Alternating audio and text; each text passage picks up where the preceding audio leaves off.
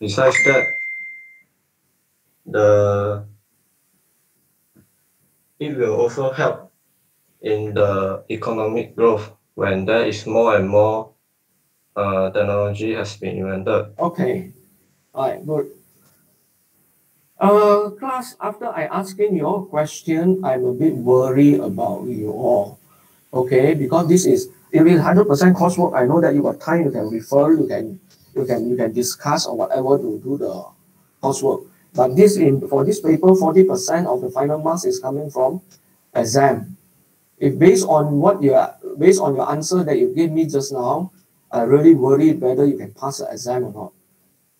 What should we do? Let's discuss together what should we do in order for you to, to understand the lecture.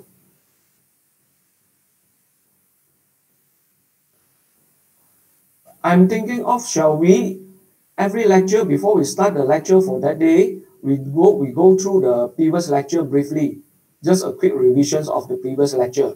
Do you think this one help? Yes. Who, who is saying? Who is speaking?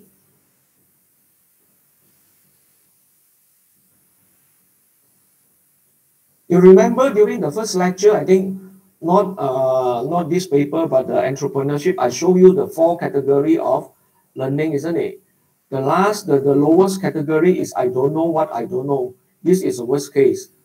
So now I'm asking you, in what way that can help you to have a better understanding on this paper?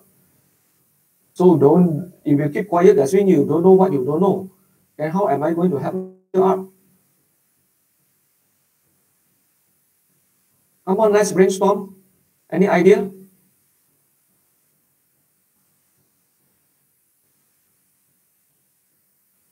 After lecture, do you all do you all go do you all, do you all listen to the recording or read the lecture notes or not?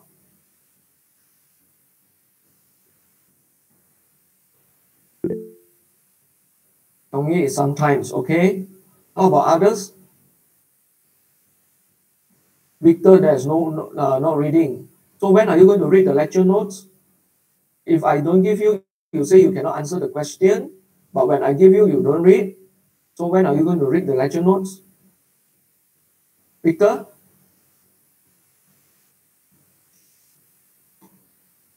When you are pressed to, uh, that's when I, I need to give you all a, a, a pressure, then only you, you read the, the lecture notes, is it? Every, every week I give you a test, lah. Then only you, you all will start to read. Uh, Brenda say what?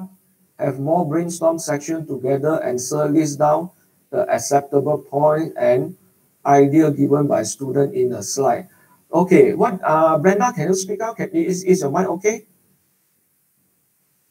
Okay, okay. Uh, okay, uh, I, I, I cannot understand what you mean. Uh. Can you like uh, talk up, speak it up? Uh, what I suggest is that every week there's a different there's different type of question given, right? Yes, right. Then uh, after the student give their uh, opinion on the point, then maybe you can list down the acceptable point or unacceptable point. Then let the student of other tutorial group to have a look on that. Okay. I did tell you all when your classmate is presenting or whatever, if any point that is not listed in your list, please record it down. So this one, did you all do it? Yes. So, okay, right, I take a point. Your brainstorming is referring to the tutorial or lecture? Uh, Both, Brenda? I think. Uh, sorry? Both, I think. Both you think, okay. So in tutorial, because now I'm, I'm, I'm, my concern is the way you write, whether you can write a proper answer or not. That's why every tutorial I ask you to discuss with your own self and then write down the answer. But do you think this one is, is better or form you into a group and then you all discuss the answer? Which one you can learn faster? Chia saying he prefer hard copy more than e-notes, then you can print out lah. Now it's under MCO, I also cannot give you a hard copy. The only way is to print out the hard copy. Okay, brainstorming is better or do your individual assignment is better? Which one do you absorb, uh, uh, is better for you to absorb?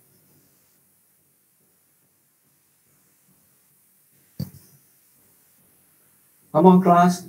We have 61 of you here.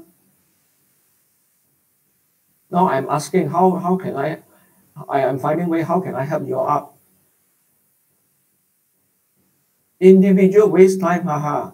Uh, why you say it's waste time, uh, Brenda? Uh, because need more time to prepare the, the answer. Okay. But if we without the writing exercise, do you think you can write well in the exam?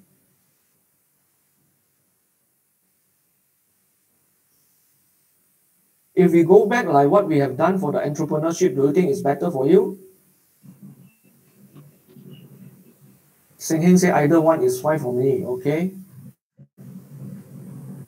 So you have to let me know your, your learning behavior, otherwise I, I, I, I go on my way, then you may, you may not be able to learn.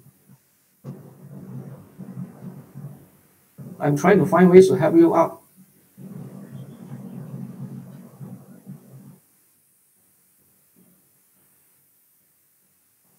I don't think it is a decisions yet, but it's just brainstorming. I, I, I, I just want to know, is there any other other method or not that you are familiar or that you, you think that is good for you?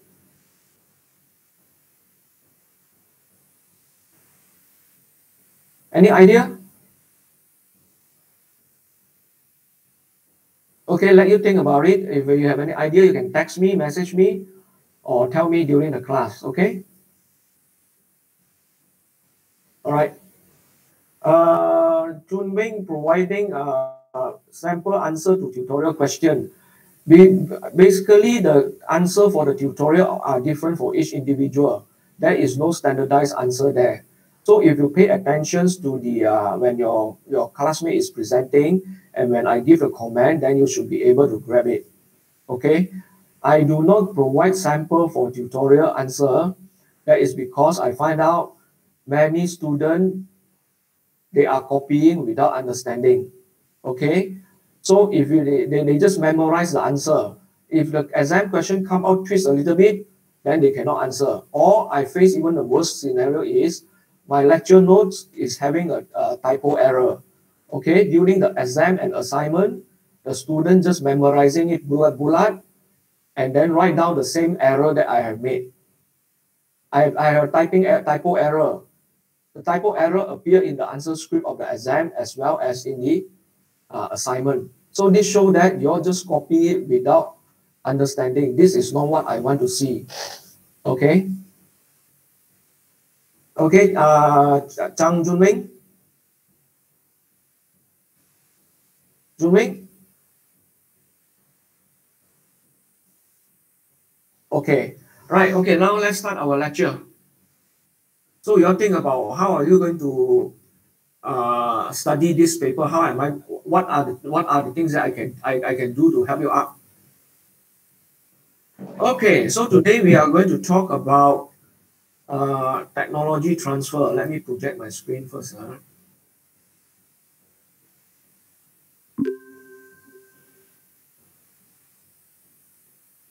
Can you see my screen? Can you Yes, see my screen? now? Okay, now, where is my pointer?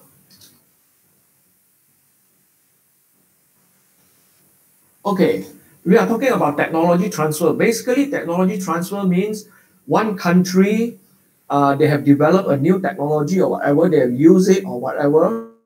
Then after that, another country which do not know about this technology, they will ask this country to transfer the technology over to their country. Okay, usually it's a de- developing country or third world country transfer the technology from one uh, from developed country like US or UK. Okay, definitely during the transactions, the there, there, there must be be- beneficial to both party. The recipient country may, may need to pay loyalty or whatever or some some amount of money to the uh the, the developed country. Okay, so basically this is talking about technology transfer. Okay, social trend and technological advancement. There are there are three phases. The first phase is of in, in industrialization is labor intensive industry. For example, just before, just after, immediately after the steam engine was uh, developed, There are a lot of factory being set up. So a lot of work, there is no machine yet, so it's labor intensive. Okay, so the first phase is labor intensive. We need to depend on the laborer. There are low level of technology. Then after that, when the machine is uh, developed, then scale intensive industry where higher scale of human input makes up of lower number of worker. We have less worker already, but the the the, the one who work in the uh, industry need to have higher skill. Okay, so the, at the second phase is higher efficiency, lower cost, more efficient wealth creations. This is second phase. The third phase is service-based industry where superior knowledge is used to boost wealth and creating wealth. Okay, so it is a knowledge economy as what we are uh, as what we are having now. It is a uh, K economy or knowledge economy. Now, technology, again, this is another definitions, but this definition is used by UNIDO. UNIDO is a Uni United Nation uh, Industrial Development Organizations, yeah? United Nation Industrial Development Organizations define technology as a system of knowledge, techniques, skill, expertise, and organization used to produce, commercialize, and utilize goods and services that satisfy economy and social demands. Okay, here he mentioned about two things. Technology must be able to satisfy economy and also social demands. Okay, and it is a use of a knowledge, technique, skill, expertise, and so on and so forth. So this is the definition that uh, UNIDO is given.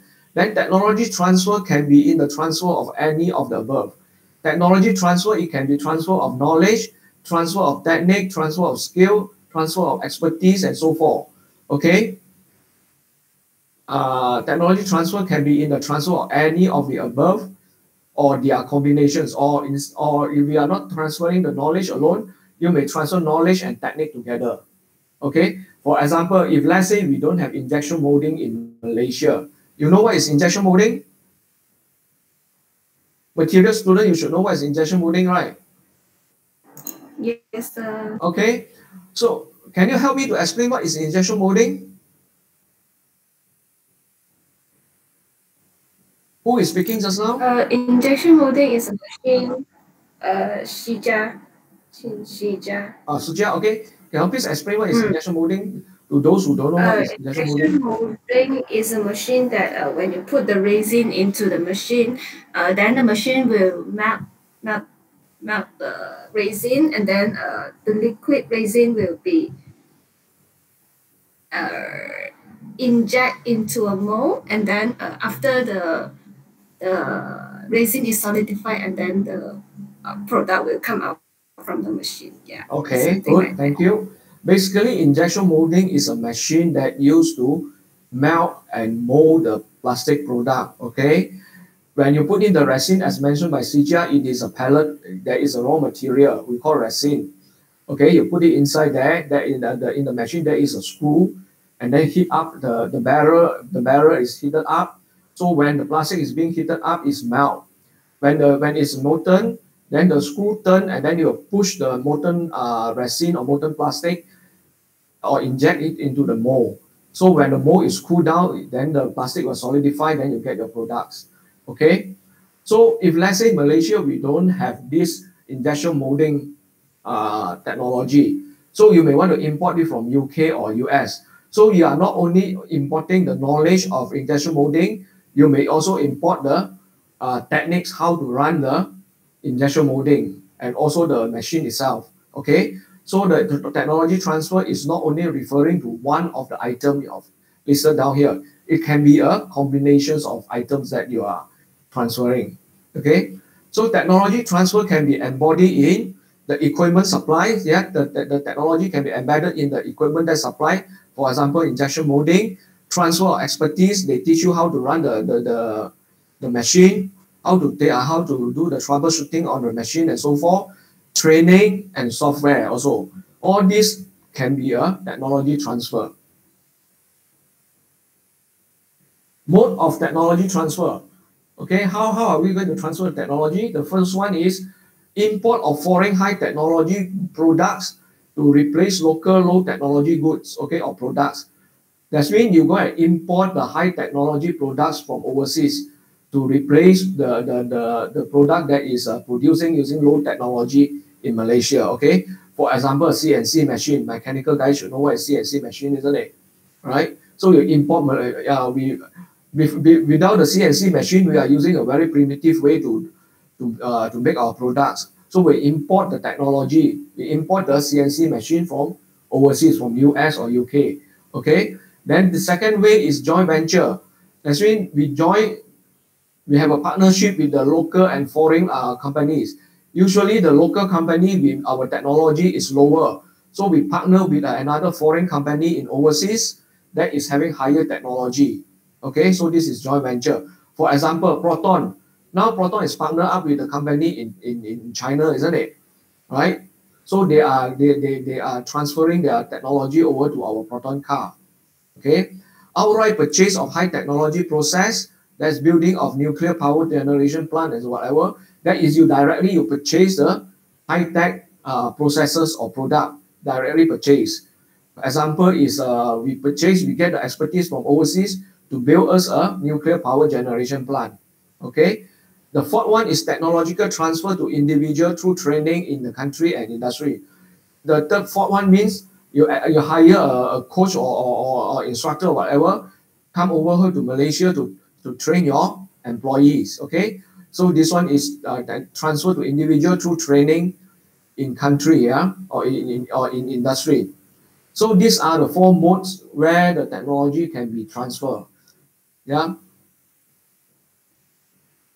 Okay.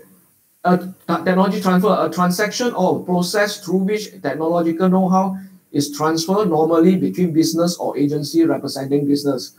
Individual, usually we don't transfer our knowledge because it is very costly. Usually the one that uh, go for technology transfer is a business entity or company or government. Okay, so that's why I say the transaction or process through which technological know-how is transferred normally between businesses or agency representing business.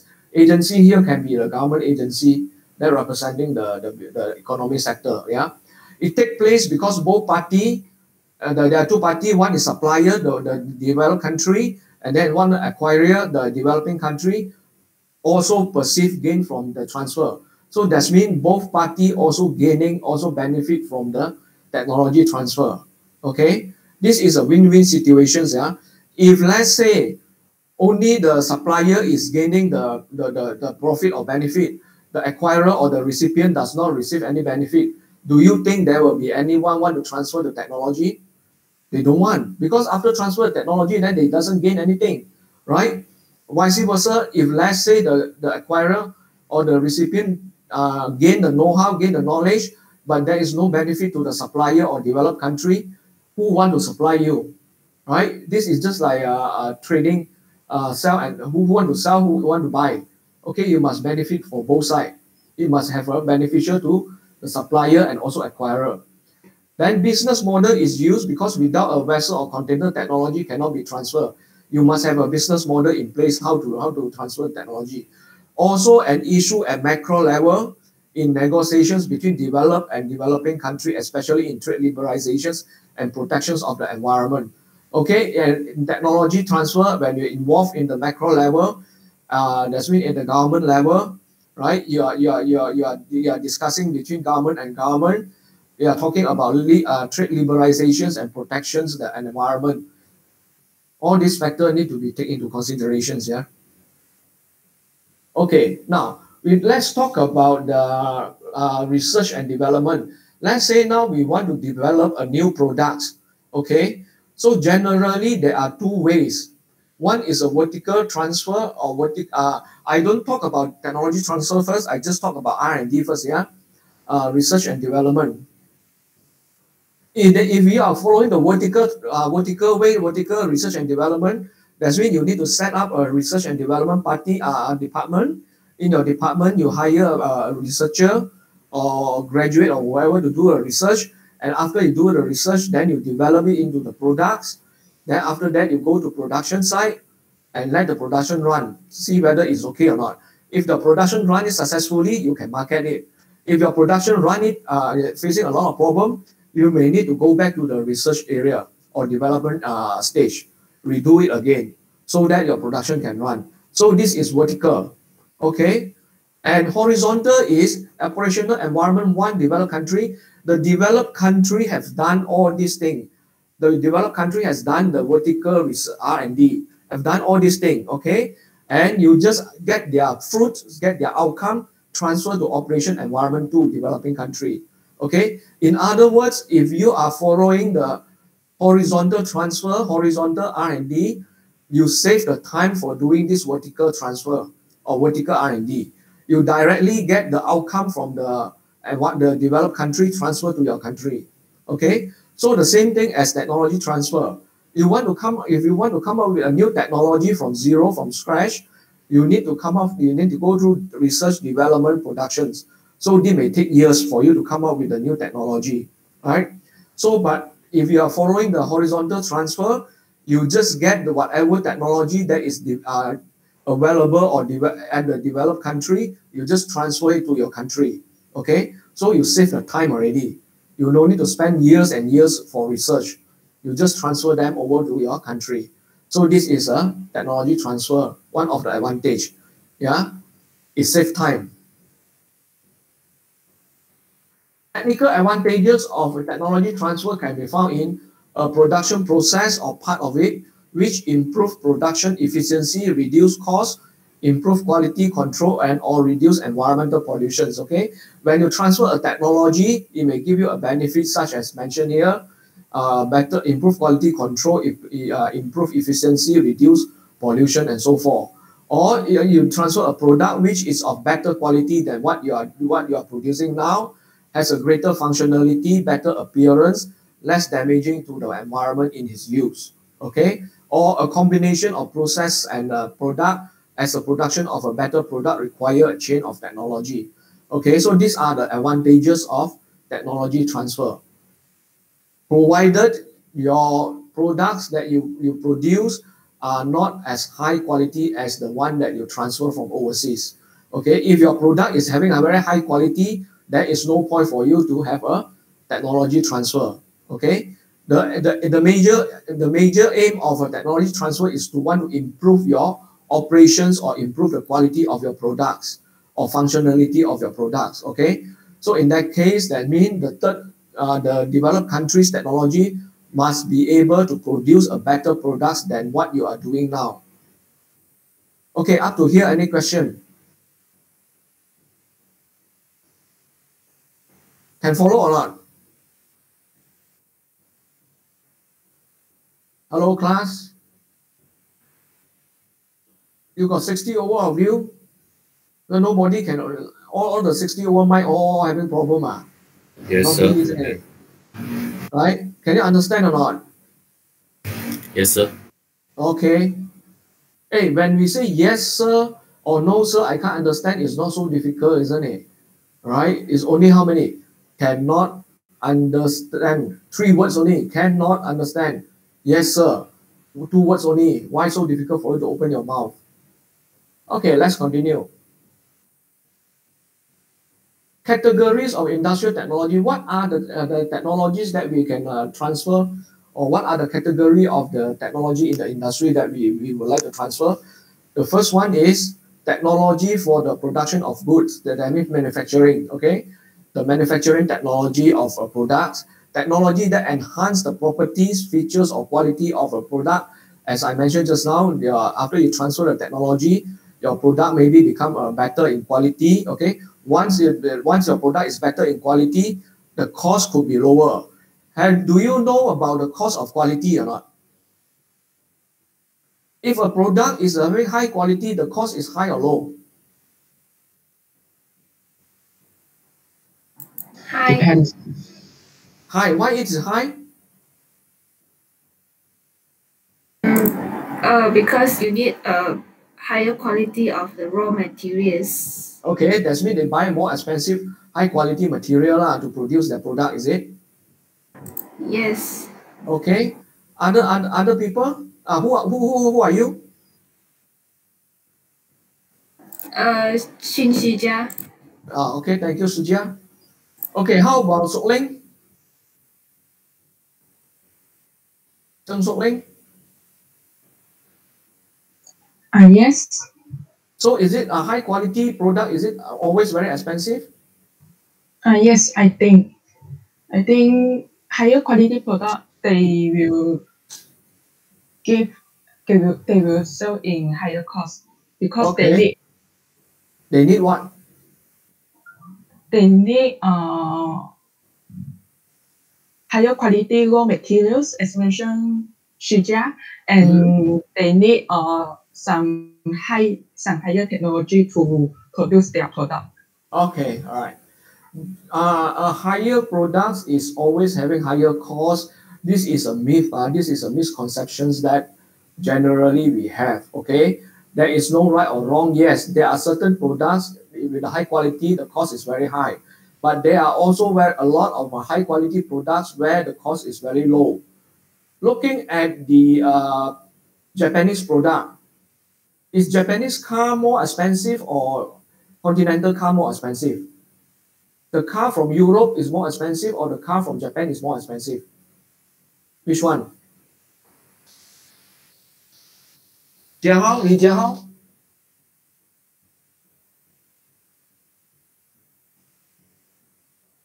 Li Jiahao, are you there? I think I call you for a second time already, right?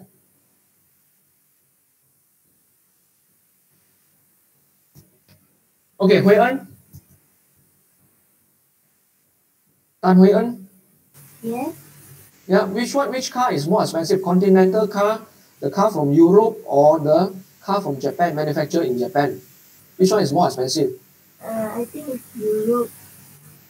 Sorry, I can't hear you. I think it's Europe. Europe one is more expensive. Okay, is Japanese car good, good in quality?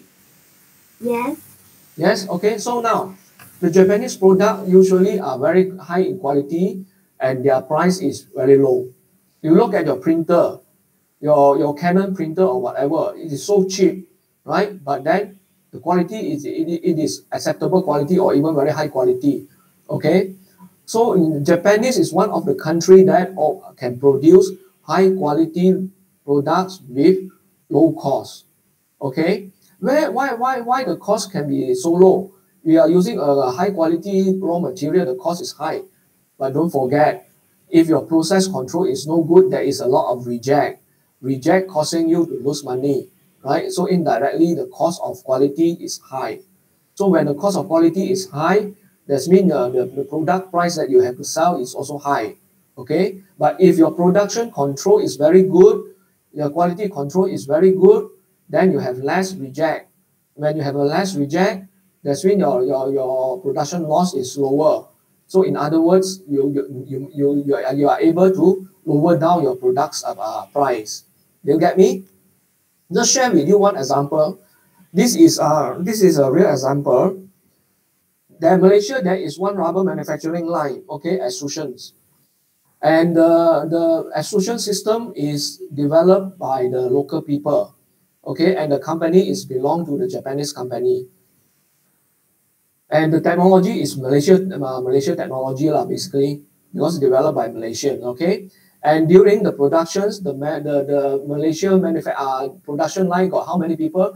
Got one supervisor, two assistant supervisor, four operator to run the to, to run the, the, the, the extrusion line. So altogether, how many? Three plus four, seven. Seven people running a production line. Okay. But when the, their mother's company is in Japan, is a Japanese company, when they come to Malaysia and then they find out that this technology is very good, so they import the technology, they transfer the technology from Malaysia back to Japan. Yeah, this is different from what I say just now. Uh. Just now, what I say is we transfer technology from developed country to developing country. Now it's the other way around. They, uh, they transfer technology from developing country to developed country. So they, they transfer the whole product, uh, whole production line, the extrusion line to Japan. And do you know how many people taking care of that line? Malaysia, we have seven people to take care of the, the production line while, while it is running. In Japan, how many how many people that are they using to run the line?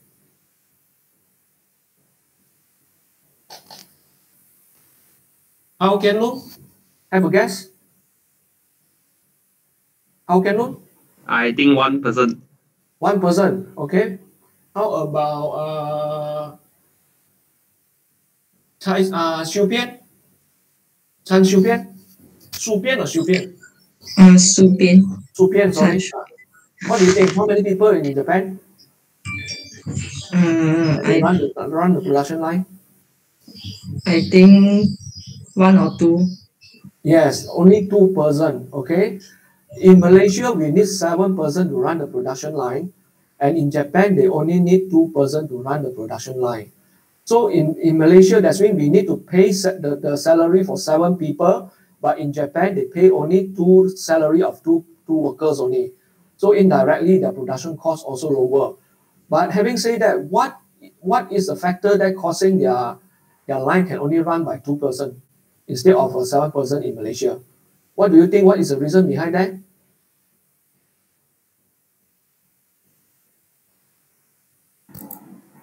Brenda, what do you think?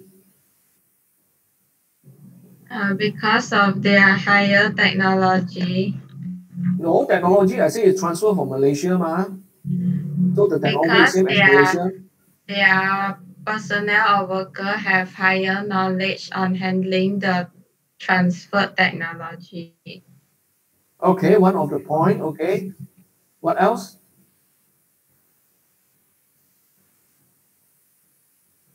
In this case, the knowledge, I would say, is secondary. There is one prim primary uh, factor that causing it, causing Japanese to have a lower production cost. Because the labor cost in Japan is very high, you know, so every factory also try to cut down the labor, the number of employee because the labor cost is too high. How about Liang? Hai Liang, what do you think? Uh, yes, so I think uh, because Japanese have the uh, automation in their in their industry. Uh, that technology is transferred from Malaysia. Or if, if they have automation, then Malaysia also have automation. Or. So people is more efficient. Uh, they pay uh hundred of uh hundred percent of the they pay hundred percent to complete their things. Uh, can you explain again what do you mean by pay hundred percent? Hundred percent of effort. Mm. Okay, good. The major. As we know, Sorry, what is that? as we know, Japanese are very hardworking in their works and their, their attitude is very good. Mm-hmm. Mm, that's why the uh, the the efficiency is high. Okay, good. Yes, the efficiency of the Japanese is very high because they are due, mainly is due to their attitude, not not due to their their knowledge or whatever. Do you know about the internal and external customer? Do you know what is internal customer? Let's say customer your, in their own company. Sorry, what is that? Uh, internal customer is customer in their own be, between their own uh, country. Is it? Mm-hmm. The external external customer.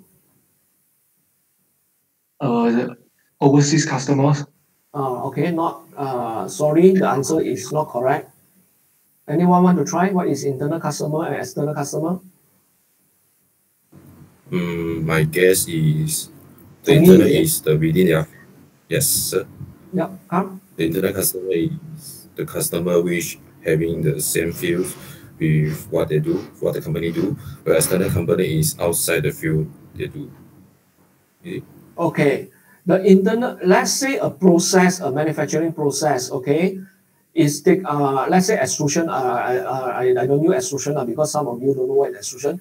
Just imagine a simple process that have three steps, okay? Step one handled by person A, step two handled by person B, step three handled by person C, okay? The external customer is the customer who buy your products, your ready-mix product, buy it from convenience store or supermarket or, or wholesaler or whatever. That is called external, external customer.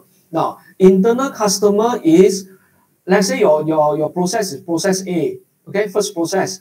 After you produce a semi-finished product, you handle it, you, you, you pass this semi-finished product to uh, process B. Okay, so the person handling process B is your internal customer. the person B is an internal customer of process A.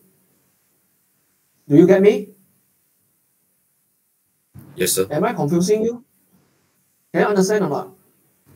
Yeah, it's Can like repeat that again? external is Sorry, end someone say user. something. Yeah.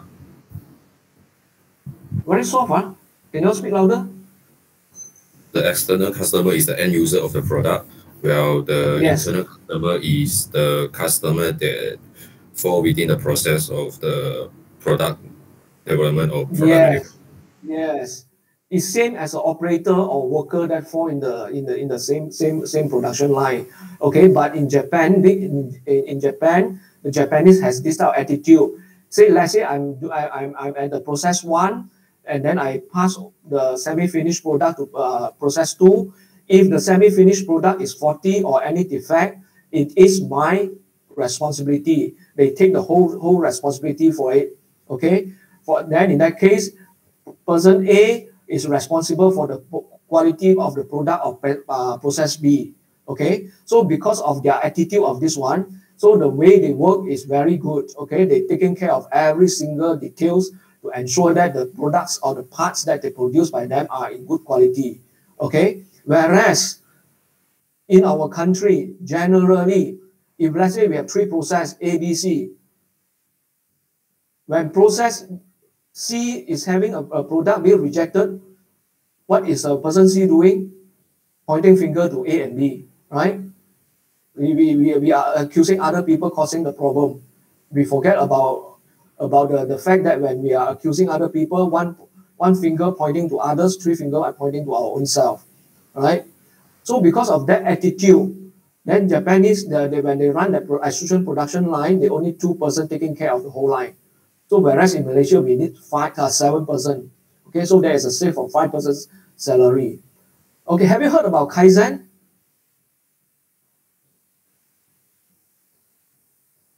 How many No. of, uh, have you heard about Kaizen before?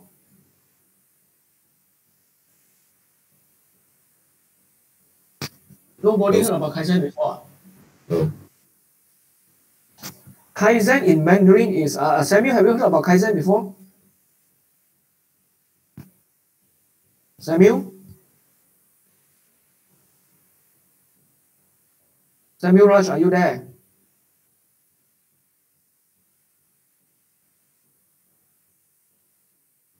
Yong Sim?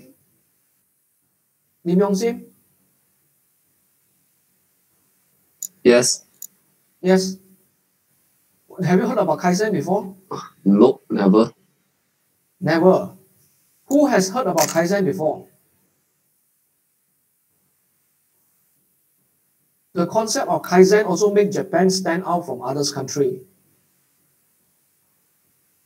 Uh, for those who don't know Mandarin Chinese, uh, I'm sorry, you, you may ask your friend to translate for you. The Kaizen in the Japanese writing is exactly as same as the Chinese writing 改善. Do you all know 改善?改变的改，善事的善，改善。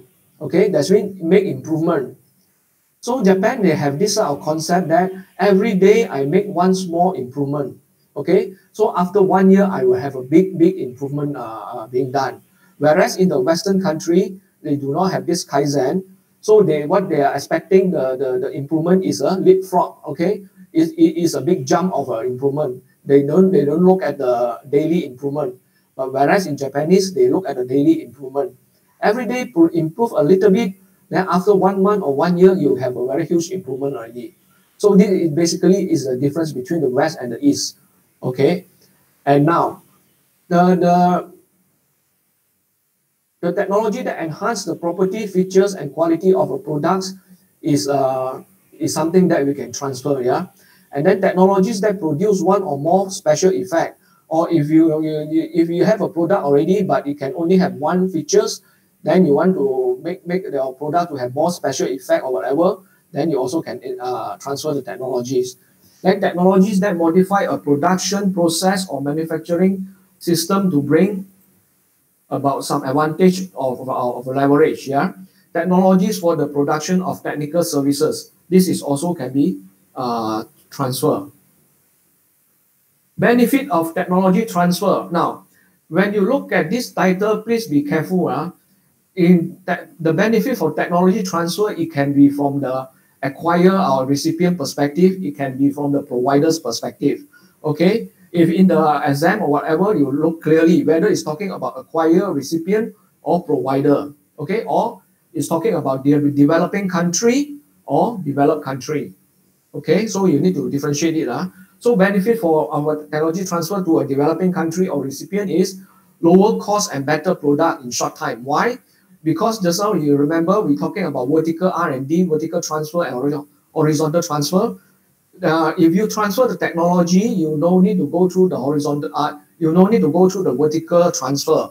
So it save your time, okay? So in short terms, you are you are, you are, you, you can get uh, better products with lower cost because the R&D is very costly, right? For example, like now the, the COVID-19, those, those, those uh, industry, those industry doing the R&D one, they have spent a lot of money in uh, to invent or to, to, to, to, to manufacture the vaccine, right?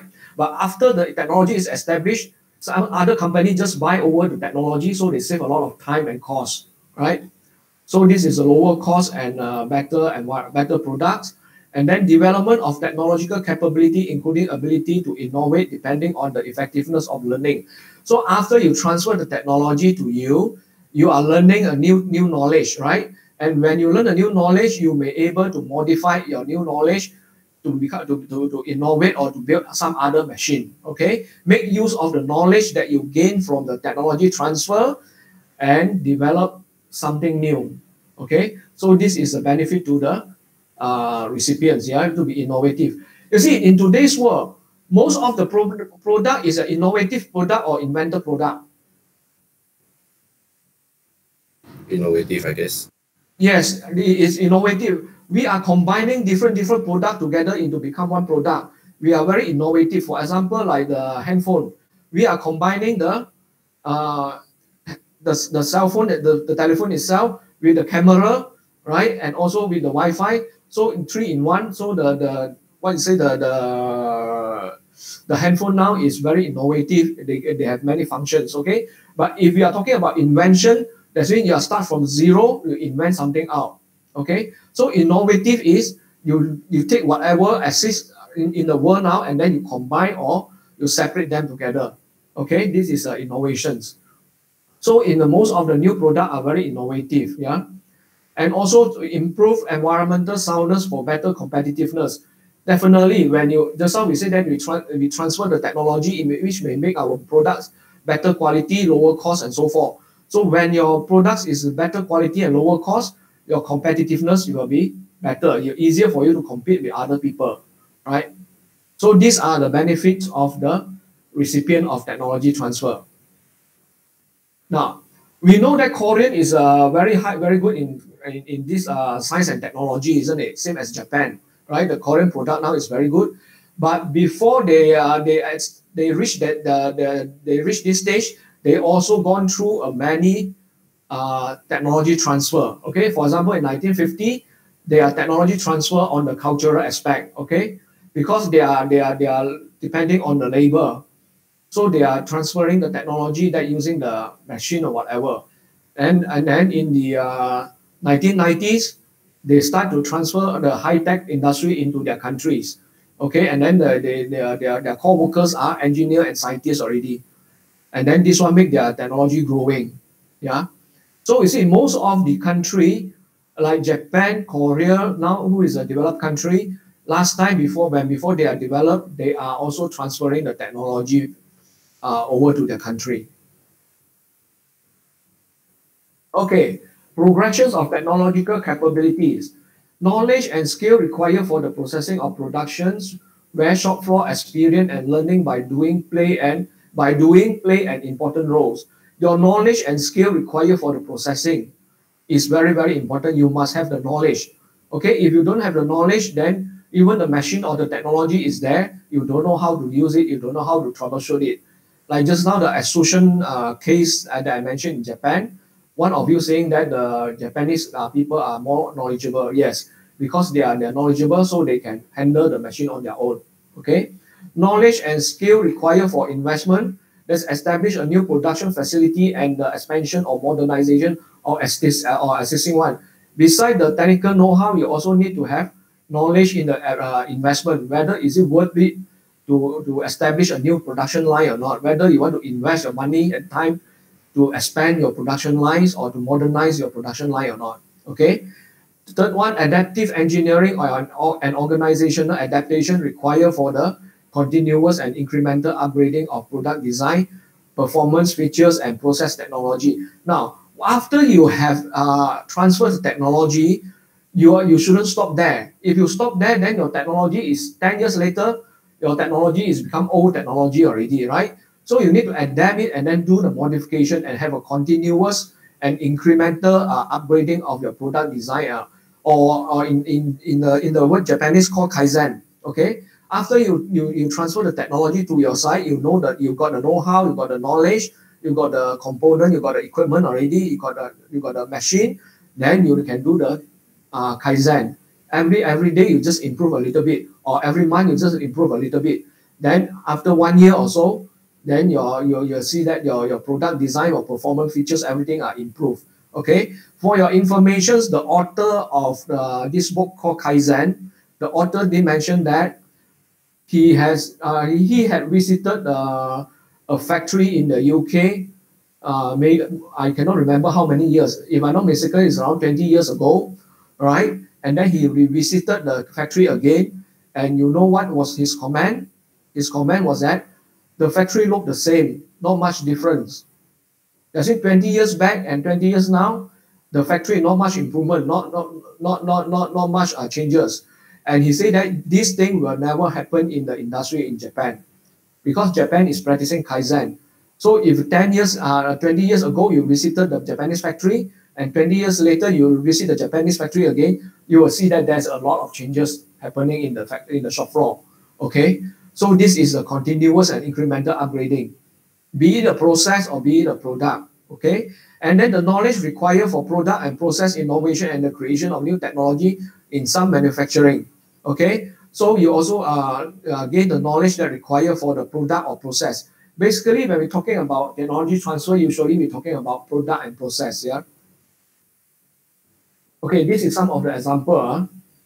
In 19, uh, this one also is a Korean. Okay, 1960 to 1970, their goal is to establish a production base. They want to be a manufacturer base. They don't want to depend on agriculture. Okay, so they, they import the technology. What are the technology that they import? They import the package, uh, packaging technology, turnkey basic base plants, assembly technology, assembling technology, and so forth. Okay, and in the 1980s, they want to promote uh, self-reliance. That means depend on their own self. So they, what are the characteristic of this uh, stage? is import substitution. That's when they they have local product to substitute their imported uh, products. They localize uh, localizations of the part or component productions. That's when the parts that instead of importing from US or UK, they manufacture it locally in Korea. Okay, so their technology they, they, they are they are they are they are importing is a unpackaged technology parts, the technology how to produce a part and operational technology. Okay, so these are the some of the example that uh, of the technology transfer that uh, Korean has gone through. Okay, and then the in 1980s to 1990s, export promotion by means, and in the 1980s they want to have self-reliance. That's mean they they don't want to import so many things. And in the 1880s to 1890s, uh, sorry to 1990s, they want to start to export their their, their market. Okay, they uh, uh, export their products already. Okay, so beginning the plant export and then learning advanced and core technology. So the, the, the, the technology transfer is material related technology. So they transfer the material related technology into the country, okay, and, and also the control technology. How are they going to control their process? Okay. So okay, a successful technology transfer using models will require a technology to be compatible with the strategy or objective of the firm. That's mean if you want to transfer a technology back to your company or back to your country, the technology must be compatible with your strategy. Okay. If let's say uh, this may not happen, I, I just from the sky, give you some example. If let's say the, the you are you the government want to increase the the what they say the un, uh, want to increase the employment rate, want to reduce the unemployment rate. Okay, that's mean the, the, the, the government want to create more job opportunities, right? And in your company, you, you are supporting the government initiative to create more job opportunities. But in this case, you go and transfer uh, automation technology to your to your factory. Instead of running by uh, 100 workers, now we need only 20 workers. So in that case, the technology that you transfer is not compatible or not in line with your strategy. You get me? Okay. So in, in real world, everybody want to cut down the workforce. Lah. Okay. What uh, just now the, the example may not happen. Yeah. Okay, technology is complemented by firm-specific factors to ensure absorption, adaptation, and learning. Okay, so the technology is complemented. Yeah, you have other knowledge also is complementing the technology, so that easier for you to absorb and adapt the, the, the technology. Technology transfer is supported by related and supporting sector and factor. When you transfer a technology, you must be it might be supported by the related uh, sector. For example, if you are transfer a technology for car manufacturing, so the car needs a lot of components, isn't it? They need tire, they need steering wheel, they need wheel, they need whatever. So in your surrounding, you must have the industry that support the, or this technology transfer. If, if, if let's say you, you transfer the car making uh, technology to Malaysia and there is nobody making uh, steering wheel, nobody making aircon, nobody making tire and so forth, then you need to import all those components again. Then there's no worth it. Okay. So your technology transfer must be able to be supported by related and supporting sector and factor, okay? And we are talking about technology in terms of a business or entrepreneur uh, perspective. So what is the main aim of a business is to make money, isn't it? Right?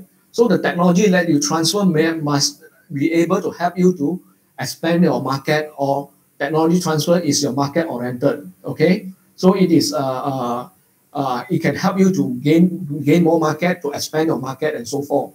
So the product being developed is uh, uh, is uh, acceptable by the market. So technology transfer is market oriented.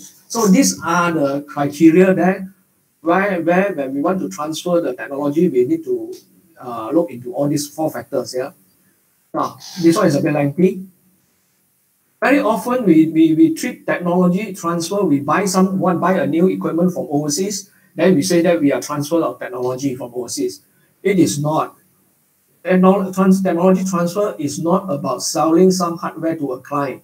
Okay, if you just buying some uh, buying a machine from the from the overseas company and use it, you it is not considered as technology transfer. Okay, that is only sell selling. Okay, so technology transfer is not about selling some hardware to a client who is then left with the task of using it as he or she deems fit. Okay. Technology transfer is the imparting of knowledge, imparting of knowledge, transfer of knowledge, skill and methodologies involved in the whole production cycle.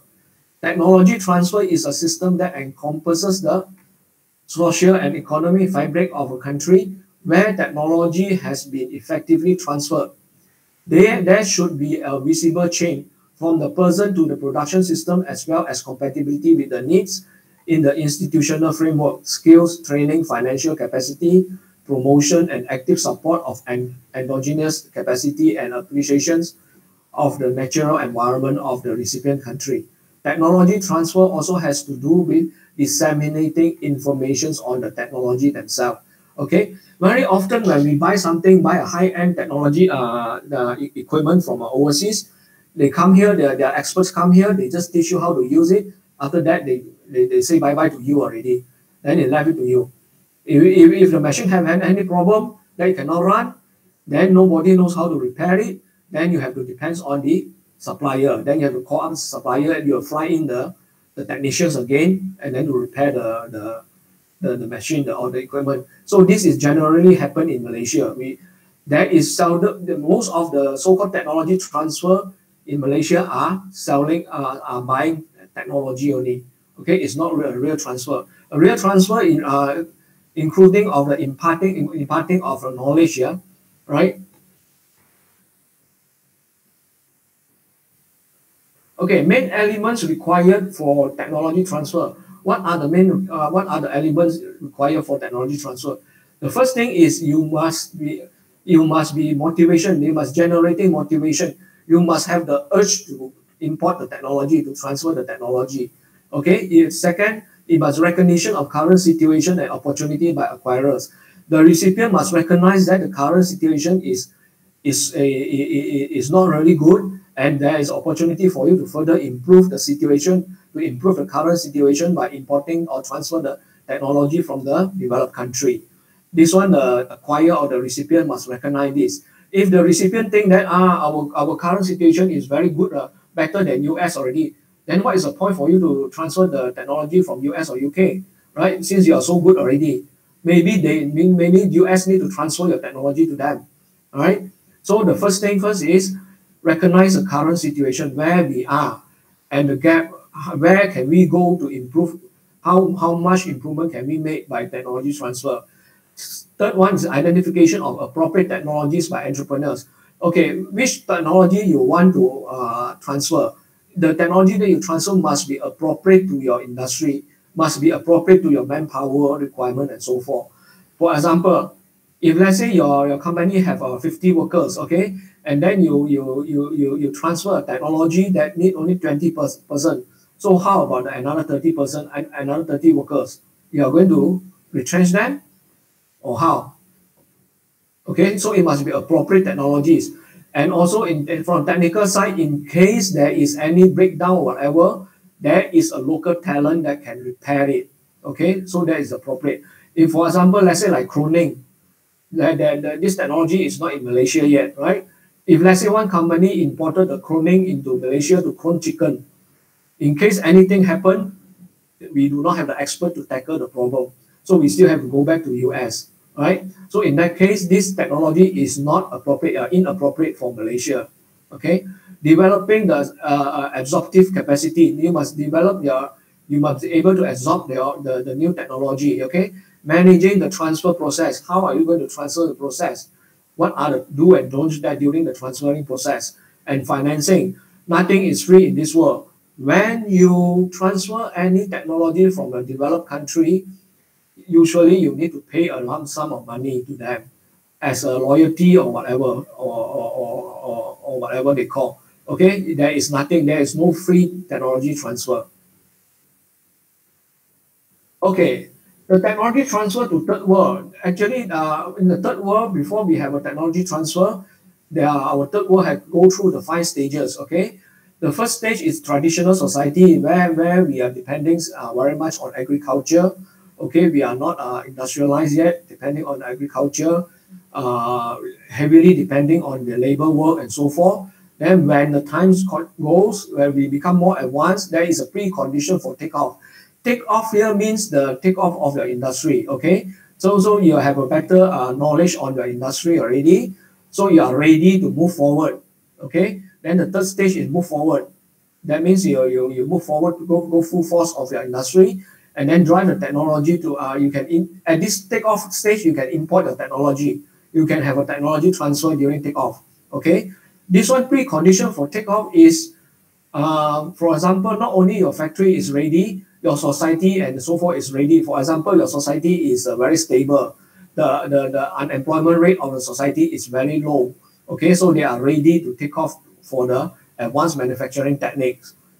Yeah, that is the preconditions. And once you take off, once you transfer your technology already, then you need to drive the technological maturity. You need to further develop, as what we mentioned just now, incremental improvement of the technology. Yeah, and once you have uh, improved the technology, you got the know-how already, then you can have high mass consu- consumptions, self-sustaining growth. You can sustain your own self already. You no need to depend on overseas uh, expertise. So these are the five stages of the economic growth. Any question up there?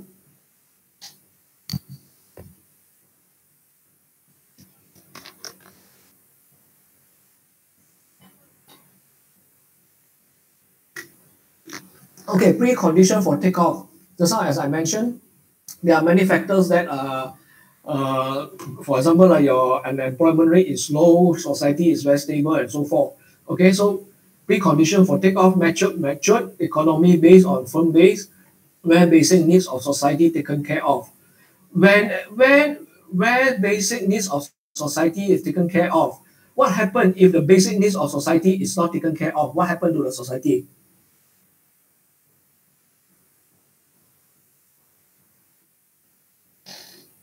Come on, someone have to try.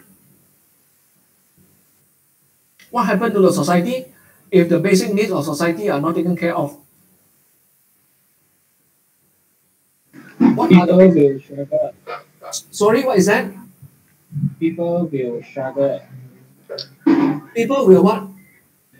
Struggle. Struggle. Okay, after, when they struggle, what they do? Real. They protest. Protest after protest. Beside protest, what Then- else they do? Changi, just now you are saying something? Real. R I O T. Sorry, what is that? Ew. Real. How to spell? R I O T. R I O D. All right. Okay. Also, so when, when when this thing happened, right? And also the people are just now the first one is what? Uh, people are struggling. So the crime rate will increase, isn't it? People always tend to, to, to, to find a way how to meet their basic needs. Can you remember what is a Maslow hierarchy of needs? Anyone remember? There are five levels of uh, Maslow hierarchy. The basic need is the food. You need to have food. You need to have shelter. You need to have sex. You need to have you need to have uh, all uh, this uh, house and whatever. Okay. If let's say the basic needs are not uh, are not fulfilled, then they won't go to the second needs called uh, safety. Right. So if the society where the unemployment rate is very high, people cannot uh, people are starving and so forth. So the crime rate, the robbery, the, the, the crime rate will increase. So one when the when the, the, the society is having high crime rates, you are not ready to take off. Okay, you are not ready to have technology transfer because you also cannot taken care of your own society. What why you think for a, a, a high tech technology? All right. So complementary factors of this uh, take precondition for takeoff include health, education, and employment program, as I mentioned just now, discovery and utilization of natural resources, how you use and how you discover your natural resources, need to produce economic growth through quantitative and qualitative investment, investment in infrastructure. Now, when you transfer technology, sometime after you transfer the technology, and it happened in India before many years back, they transfer uh, one crops, yeah, the seed of uh, one plant into India, and then this uh, give a very good harvest. Okay, the the harvest harvesting is very good, and uh, India's time when they uh, they are they are very happy with this uh, technology transfer. However, when they during the harvesting, they need to send the plant the, the, the fruit to other places. They're facing a big problem because they do not have a proper road. Okay, so that's why the infrastructure in India is not uh, ready for that technology transfer. Okay, so when we, when we talk about technology transfer, we don't only think of uh, in, the, in the factory itself. We must expand our, our scope to look at the society as a whole, right? Many third world countries attempt to take shortcut to achieve development uh, to develop country economy status by means of technology transfer from advanced economy. As I mentioned just now, if you go through the vertical transfer, you need to go through R&D development and then only productions. But if you are going through the uh, technology transfer, you are horizontally transfer your technology. So it saves time and money. Okay. Technology transfer is a two-edged sword. Okay. It can be it, it can help you, also it can harm you. So you need to be very, very careful on the technology uh, uh, technology transfer. Okay. Advantages uh, of technology transfer to recipient country, shorter learning. This one is not uh, just now what, what we are talking about is, is uh, advantages to recipient, uh, but now this one is to is bigger scope to recipient country. Okay, shorter learning curve because you shortcut short your your, your R&D time, build on not developing existing technology, use of scale resource more efficiently, save on expensive import of essential goods. Okay, so these are the benefits to the recipient country. These advantages of uh, technolo- technology transfer to recipient country, import of inappropriate technology. As I mentioned just now, when you want to import a technology, make sure that it is appropriate. You can support by other factors, okay? Just like the case of the, the, the agriculture sector in India, their, their, their transportation sector is not ready to support the technology that they transfer, okay? So it is important for, uh, uh, if you, let's say you transfer an inappropriate technology, then you are causing more problem than, you causing you more harm than goods, okay? So this uh, if you if you are imported an inappropriate technology, that is a disadvantage. Okay, and technology transfer usually involve high cost. You need to pay a high amount of money to the uh, provider. Inability to handle high technology resulting in dependency of donor. Okay, if let's say you you you you import a automation machine, okay, and your technicians or your engineer locally cannot handle this. So whenever there is a problem, you need to call or, or, or email the, the mother's company in overseas. So this indirectly causing you to more uh, causing you to be dependent on the provider.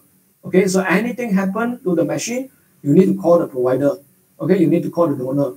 So indirectly, you are creating resulting in the dependency of the donor. Okay, and social cost. Usually, when we improve our process nowadays, is we list uh, we need less people to work on it. Okay, so in this case, the social cost, unemployment, high national debt, because sometimes the, if, if the country want to import a technology, they don't have sufficient money, they need to borrow money from World Bank and so forth. So this may cause a higher national debt. Okay, loss of indigenous innovation culture, increased rich poor gap. So the, all these uh, all these are called social costs. Okay, your original asli uh, uh, technology or, or your, your your your this uh, indigenous uh, innovation may be disappear because now people are using high technology. Okay, or your culture may be disappear also, right? increase uh, rich the, the rich will become richer because they, they, they can afford to, to buy the technology or they can afford to, to de develop a new technology but the poor become poorer so in that case the rich and poor gap become bigger and bigger right so these are the disadvantages of technology transfer to recipient country uh, not provide not donor country or providing country uh.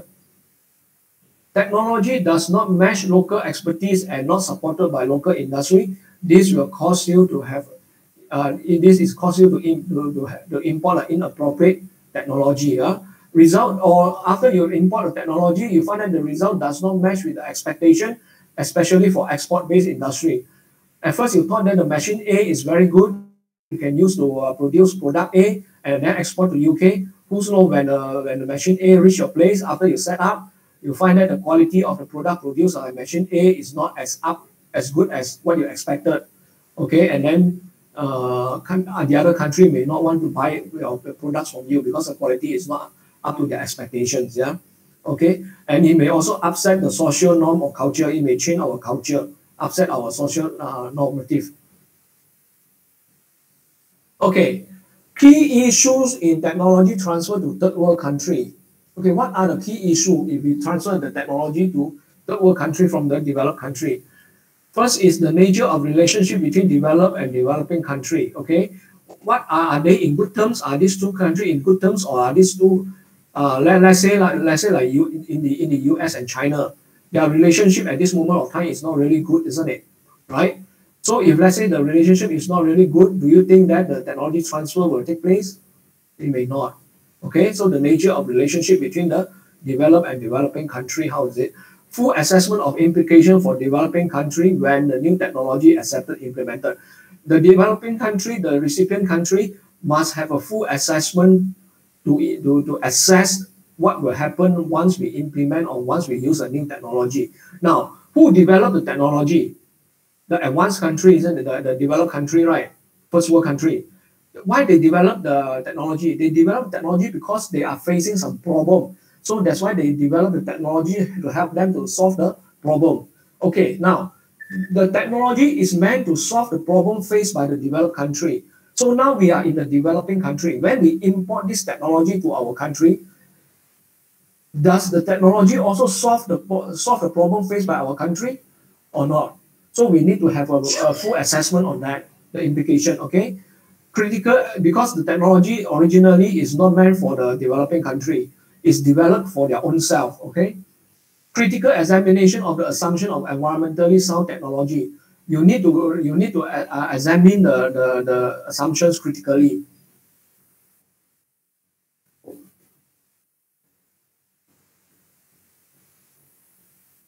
Sorry. Oh.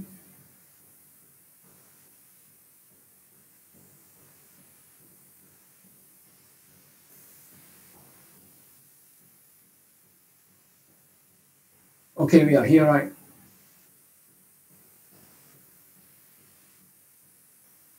Okay, next, technology transfer is a gift or Trojan house. In the real uh, in the real cost consideration, when we want to consider the technology transfer, we need to think of amount paid upfront. How much are we going to pay? After we paying the money, is there any any advantages for us in the market or not? Whether the product is uh, produced by the technology is acceptable by the product, any consideration of the licensing or royalty. Sometimes when you transfer the uh, the technology from uh, from the de developed country, they may say, okay, you need to give me a licensing fees. Okay, one year, how many thousand, how many, how many, how many thousand of uh, licensing fees or loyalty, and then you need to pay for maybe 15 to 20 years. Every year you pay for it. So is it worth it? Because all these are the real costs that you need to consider. And other and any other non-economic consideration. Is there any other non-economic things that you are you are not consider? So after you add up all these A, B, C, D, you will find that technology transfer actually costs you a lot of money. What happened? Uh?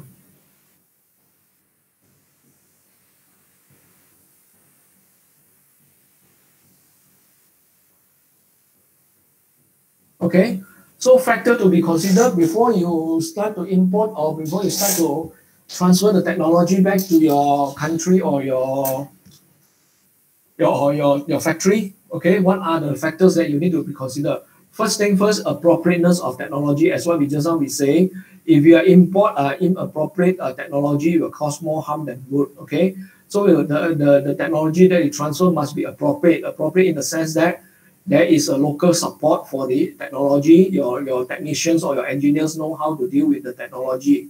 Okay. B, what is the cost of technology? As what we mentioned just now, the loyalty fees or the, the, the licensing fees or whatever, and then the cost of building the, the, the, the, the, the machine or whatever. So what are the costs of technology transfer? Ability to handle the technology. Most of the time that we face problem with this one, we thought that we know about the technology, but when the technology having problem go haywire, we, we only realize that we are not able to handle the technology. We only realize that we are, we are not able to prepare the technology. Okay, so this you need to be uh, make sure that you have a talent, you have the manpower to handle the technology. Yeah, especially if your technology is inappropriateness of technology. Okay, compatibility of social cultural system the technology that you import, it must be compatible with social cultural system. Because there are certain cultural, uh, there are, there are certain cultural, uh, they have their own belief and so forth. Sorry, uh, give me a minute.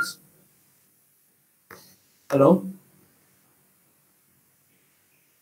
Apa dia? Ah. Okay, okay, okay, okay, okay. Ya, you, you kat lobby kan? Ah, okay, okay.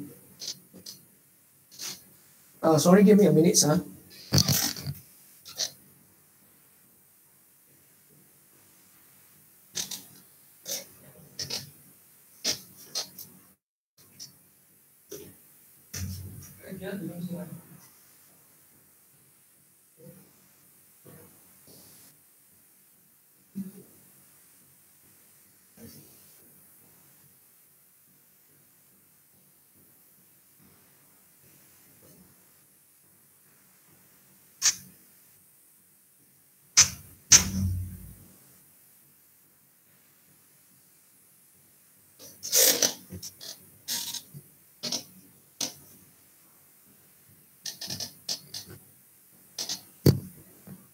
Okay. So one of the example is Papua New Guinea. This country, have you heard about Papua New Guinea? They transfer technology back to the country. Okay, that is a called biogas uh, biogas uh, system where they use uh, excrement of uh, animals or human being to convert them into energy into power. Okay, they after they import the the the technology to their country, the technology works very well. Okay, no problem. But they forgot about one thing. They forgot that the uh, Papua New Guinea uh, people have a belief that they should not use any excrement from other people or other culture for the for, for this purpose. So in that case, if they, they believe that uh, the, the, the excrement of the animals cannot be used So where, where are they going to get the raw material for this uh, biogas? Right? So the whole system failed because of the social cultural system. Same thing in Malaysia. If you are manufacturing, if you are in, importing a, a technology for manufa- uh, food manufacturing or whatever, and you targeted at the Islamic or Muslim Muslim market, then you must make sure that the, the your the technology is halal, isn't it? Right? If it is not halal, then, then you cannot sell it to the Muslim customer. So compatibility of social cultural system is very important. And also whether there is any other hidden cost that uh, you, you didn't see or not. Other hidden costs, for example, like just now we're talking about India, the you need to develop a road, the transportation is having problem and so forth. Okay, so these are the five factors that you need to consider before you transfer the technology. Additional issue to be considered, identify, cultivate, strengthen and disseminate environmentally sound and innovative technology processes. Okay, protection of intellectual properties right from the traditional knowledge wisdom. Now, sometimes when you transfer the technology back, they involve intellectual properties, the copyright. Okay, so in that case, you may highly likely you need to pay the licensing fees to them. Yeah, protect genetic heritage of developing uh, nations, biodiversity, understand social and cultural context. Uh, the, all, this one is same as what we say the social cultural uh, issue that faces Papua New Guinea. Okay, effect of new technology. What is the effect of new technology on the society? Extent of existing economy activities process displayed by the new technology. Okay, expand the, the existing economy activity because your new technology, you, you, your productivity, productivity is higher or whatever. Okay, so it expand the economic activity. Extent of disruption of existing pattern of labor or contributions to structural unemployment urbanizations. As what we mentioned just now, most of the technology we transfer is related to automation or whatever. This will disrupt or causing the uh, the disturbance to the pattern of labor. Okay, the, the unemployment rate may be go up also. Impact on local and indigenous culture, values, and social organizations. Okay, since you are importing the the, the technology from overseas, in that sometimes you may also bring together with their culture and so forth. So there is an impact, negative impact on our local and indigenous uh, culture or our value. So shift in patterns of consumption, especially uh, towards product or process affecting the environment. There is a shift in the patterns of the consumption also that it may affect the environment. Environmental impact assessment. You need to assess also how does this technology impact our environment. Okay, is it producing more pollutants or it is a green technology? Okay, next we're talking about impact of technology on the society. There are four categories of technological innovations. Uh, we get it from a Freeman, it's called Freeman's model. The, the first one is incremental, radical, chain of technology system, and technological revolution. What are they? Let's look at it. Incremental. Incremental means occur continuously, as what I mean by Kaizen just now. Okay, outcome or experience, quality circle, problem solving, product improvement. How many of you have heard about quality circle? Anyone know what is quality circle? Not quite. Have you taken this paper uh, called Quality and Reliability Engineering? Ah? Oh, uh, Eh? I thought it's one of your paper. No. Ah? no, Okay, quality circle again is uh, is from Japan. For your information, uh, a lot of quality tools are actually developed in Japan. Okay, just tell you the uh, story. Uh, during the Second World War, the uh, Japanese kala, isn't it? Right, because of the hydrogen bomb by the U.S. So and then at that time, Japanese economy is in the trouble. Okay, is is in a very bad shape, and America as as a taiko want to help out the uh, Japanese to rebuild their country. Okay, so they send and uh, they send an expert to, to to Japan to teach them about the quality uh, quality techniques. Okay, and this gentleman in this gentleman's theory or concept in in in U, in the US is not well received. Okay, nobody want to listen to him, so they send him to, to, to Japan. They send someone that nobody want to listen to him on to Japan. And Japanese, they are so obedient, they are so disciplined. they follow exactly what this gentleman taught them. Okay, and from there their, their quality become better and better. Do, do, do, do you see the quality of a Casio watch or, or, or any Japanese product today? Is the quality good or no good? Quality is very good, isn't it? Right? So this is because of the this gentleman taught them how to manage their quality and how to check their quality. And this man is called Edward Deming. Have you heard about Deming? Also no. Okay, never mind. So he had taught them a lot of this uh, quality technique and so forth. And quality circle is a group of uh, workers, okay, where they five or six workers, where they group together to, for meeting after work.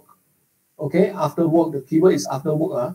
During work, during working hours, they perform their, uh, their, their normal tasks. So after work, they stay back and discuss about the problem they face during the uh, working hours and try to brainstorm what is the solutions. This is called quality circles. And the unique things about quality circle is these five or six workers gather together. Uh, after work, they do not claim overtime. Okay, in Malaysia, if you ask you to stay back for one hour, you say, I claim overtime for one hour. This one, they stay back voluntarily without claiming overtime, and there is no superior inside there. Okay, so because as a human being, sometimes it's superior or boss is inside there, uh, the way we speak is different, isn't it? There are certain things that we, we, we are worrying may cause problem that we dare not speak out. So in this quality circle, there is no superior there. All the participants are the same rank, so they can talk about whatever they want to say. Okay, and this is a, a, a very good culture in Japan. Many many companies are uh, implementing this. In Malaysia, last time uh, Motorola was implementing quality circle. Now I'm not sure. And in Japan, there are some company beside the, the, the, the, the people staying back after work to do the brainstorming for as a quality circle, they also have a Kaizen day or quality circle day, where during that day, their operation all shut down, all employees are sitting at the hall there, listening to all those quality circle group presenting about their findings about their invention or about their problem solving technique and so forth. Okay, and then they choose who is the best, who is the best one, or who is the runner up and so forth. And one interesting question, I have seen one. If you're getting an award when you go up to you go to the stage and presented your idea that you discussed during quality circle, you get an award. Say that you are there, there are three awards. Okay, you get the first prize. What do you think? What what what prize will you get in Japan? Can someone have a try? Participation award. Sorry, what is that? Participation Participation? Are you talking about participation? Yeah. Is it an award? Award means a present. What present do you uh, will you get? A ribbon. Sorry? A ribbon. What what is that? A ribbon. A ribbon? R Can you I speak B B louder? O I- I N. get you. R I B B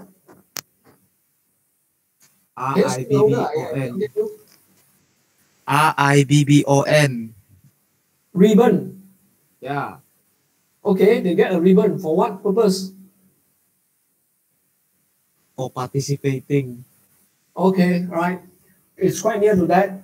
In Malaysia, if let's say our ideas was selected as the best idea or whatever, we are expecting a huge monetary award, for example, uh, uh, 1,000 ringgit or whatever, right? But in Japan, there the, the quality circles that are selected as the, the best uh, group, they only each of each of the member only get one piece of cake. Okay, they get zero cents. Yeah. So this is a culture, the, the different culture in Malaysia and uh, uh, Japan. In Malaysia, if let's say you give 50 ringgit, they also say uh, you look down on my idea. My idea only worth 50 ringgit. ah. They don't they don't they don't feel happy about it. Okay. So this quality circle is from Japan, yeah. So uh, because they every day they stay not every day like a few times per week they stay back and discuss about the problem that they face. So that's why they can have a continuous improvement, yeah. So incremental every day or every week improve a little bit. So after one year, then you can see a huge improvement. So the next one is radical. Radical is an exceptional event, usually based on research, go through the this uh, uh, vertical vertical transfer way, uh, usually based on research dramatic effect on the society. The example is the development of plastic, birth control pills, and so forth. This one they have gone through the the vertical uh, development plan from the uh, what is that? Uh? Research, develop, and then productions. Okay, along uh, a big jump. So the example of this uh, radical chain is the invention of plastic, yeah, or birth control pills. Then another another two is chain of the technology system, usually the result of several related radical innovations giving birth to new technology systems such as plastic and injection molding that we have mentioned about just now. Okay, usually the result of several related radical innovation give birth to a new technology. Yeah, if we have a plastic, we have an injection molding, then now we have a plastic injection molding. Okay, the third, uh, the fourth one, technological revolution. This is a major technological innovation with major impact on economy and society, giving rise to new basic capabilities and skill.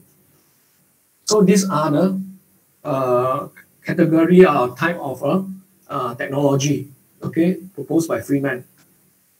Now, technology transfer, as I mentioned just now, is a double-edged sword, right?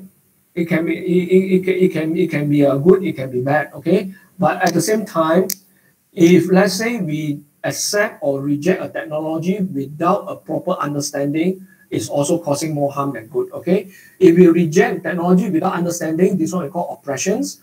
If we accept the technology without understanding what it is, uh, what is inferred and so forth, it's called dominate uh, dominations. Yeah, important to both understanding and uh, to understand and use technology effectively. If we want to transfer a technology back, we must understand the technology and how can we use the technology effectively. Okay, and social acceptance, whether this technology is accepted by the NGOs or not. Because sometimes the technology that we import or transfer to Malaysia may produce uh, pollutants or, or may produce some harmful chemicals that that no good for the society or whatever, then the NGO will, will, will object about the, uh, the, this technology, right? So whether the society, whether we can accept this technology or not, and legal, whether the law to regulate this technology advances uh, research or at least implementation, is there any law that uh, govern the uh, or regulate the technological advancement or not? Uh, these are the factors that we need to think of. Okay. All right. Up to here, any question? Okay. If no question, I don't want to go into this nine element because it, I prefer to do it in the in, in, in the same lecture. So I will end the class now we are we are going to discuss about the nine element to examine the technology next uh, next Tuesday. Oh, oh yes, sorry, next Tuesday there is no class. Huh? 23rd of February Tuesday there is no class. Okay, uh, who is the course rep? Um, yeah, I'm course rep for REE. Uh, eh, not Paul Jingwen, ah? I thought it's Paul Jingwen. Jingwen uh, uh, RTE. Oh, but uh, all the group who is there any one rep for represent all the three programs? Uh, Jie, I think you take the position. Sorry. okay, yeah, I can. Why today when your speak is so soft? Huh? Okay, who, who, who, who can take care of the whole the whole group?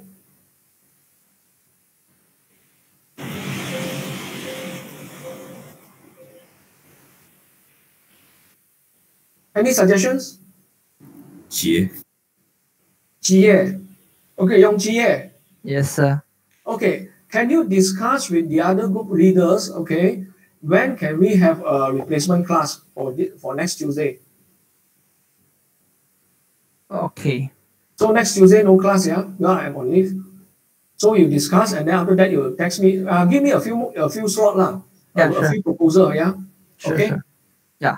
All right. Okay. Now, before we end the class, any question? Your assignment okay or not? Changi, have you checked the, the link that you sent to me? Ah? Yes, sir. You check already? Ah? Yeah, we will discuss it later. Okay, okay, right. Okay, if no question, then we end the class here. Thank you, class.